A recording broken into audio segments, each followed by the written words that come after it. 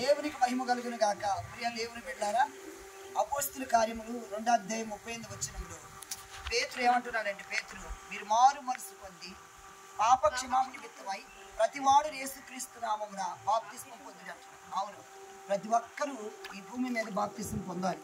ఇదిగో ఈరోజు కార్తీక బాప్తిజం పొందడానికి సిద్ధపడి వచ్చిన్నారు దేవునికి మహిమ. మరి నీవు కూడా ప్రభు సన్నిధిలో మార్పు చెంది బాప్తిజం పొందుకుంటే ఆ నిత్యరాజ్యానికి వారుస్తున్నావు దేవుడు నిన్ను నీ కుటుంబాన్ని దీవించుకుంటాను God bless you please do subscribe my channel thank you